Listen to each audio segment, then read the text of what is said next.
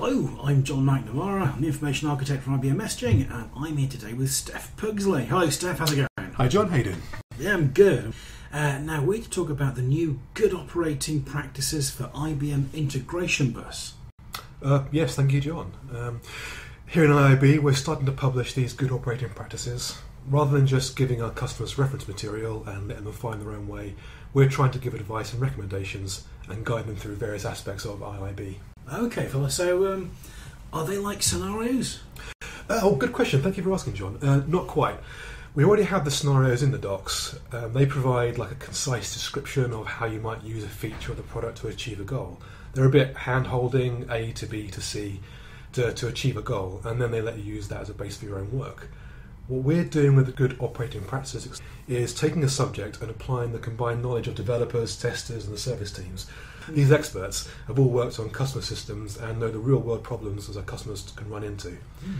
So these good operating practices, they aren't intended as a one size fits all solution like the scenarios are. Instead, they share common approaches to solving common problems based on real environments and customer feedback. So as the IIB evolves, as hardware changes and memory becomes cheaper and more readily available, then we're going to update the operating practices to take advantage of all these new changes. So that way our customers can maintain a level of service that they expect. Well, that sounds phenomenal. So, what's taking so long to get these out to the customers?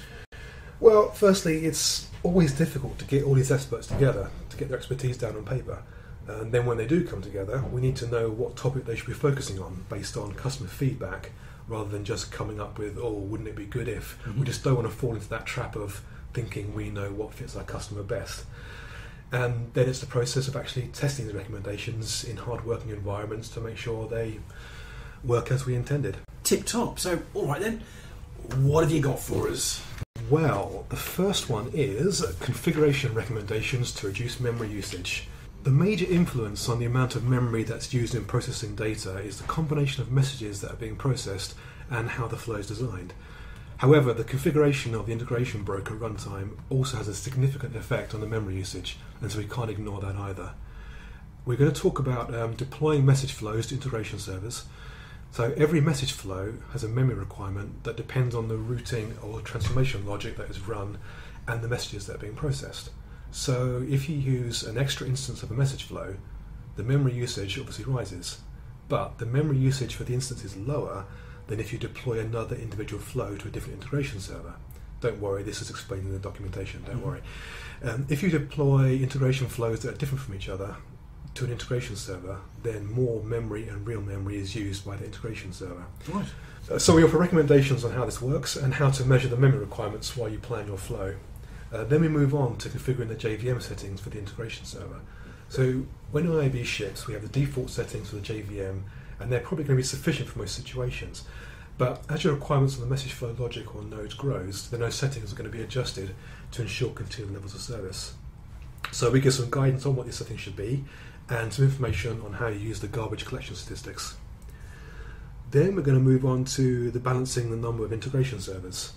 So while an IIB integration node can, theory, support any number of integration servers, practical limitations such as the amount of memory or swap space do force a maximum limit on us to ensure continued levels of service. So we talk about the effect on memory that the number of integration servers has on integration nodes, as well as the practical reasons why you shouldn't just throw all your integration servers onto a single node. And finally, we have a strategy section that ties in with this balancing. We describe when you should group message flows together and when you shouldn't, how you might divide up your flows based on the work that they do, and the memory costs of actually deploying those flows. Well, Stef, thank you very much. Um, so, the final question then really is where can we get hold of these good operating practices? Well, John, they're available in the IIB V9 docs on the uh, Knowledge Centre product documentation. In the scenario section, uh, we've included links below this. There's an article in the IIB Developer Centre where you can download a PDF version if you prefer. If you don't visit the IIB Development Centre, you really should, uh, even if it's just to visit the answers section where the experts will answer your questions. Again, the link will be below. And please send us feedback about what you want guidance on.